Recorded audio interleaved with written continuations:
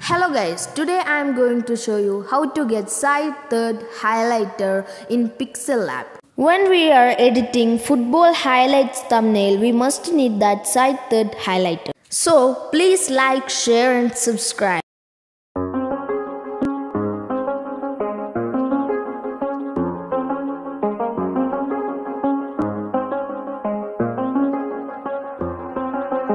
I do the same thing I told you that I never would. I told you I changed, even when I knew I never could. Know that I can't find nobody else as good as you. I need you to stay, need you to stay.